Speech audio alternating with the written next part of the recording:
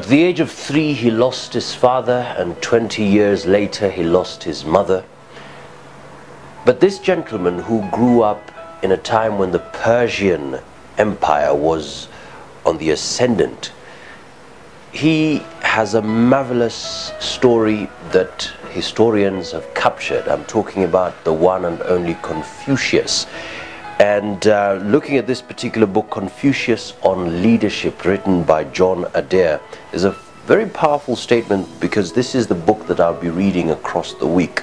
And uh, just to get your attention on this, on page 168, it says, At 15, I set my heart on learning.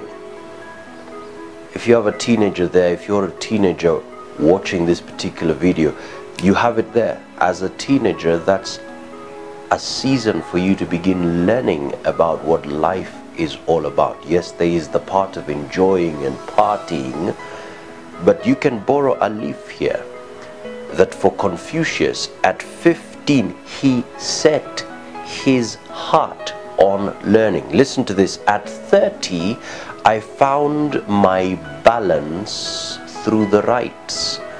By the time you get to 30, you really want to establish the balance in your life so that you're not necessarily living a life that has no purpose or direction, but you have an absolute understanding of the balance that you need in your life. Now, listen to this. At 40, I was free from doubts about myself. By the time you get to 40 years, you really want to be absolutely sure about what you want to do in life, absolutely sure about where you're going. At 50, I understood what heaven intended me to do. Now, this is where basically you realize that life is not just about where you are, the earthly things that you can touch and see, but you're beginning to see beyond your life on earth, beyond your generation.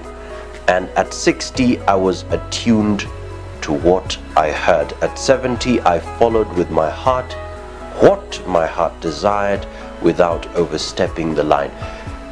Just from that statement, I really want to read this particular book. And of course, I've watched his movie. Uh, it's a movie you can find on YouTube, uh, you know, acted by Chow Yun Fat, an amazing movie, Confucius. And you get all these lessons. It's about learning here on a book a week. So let's meet next time for the review of the same.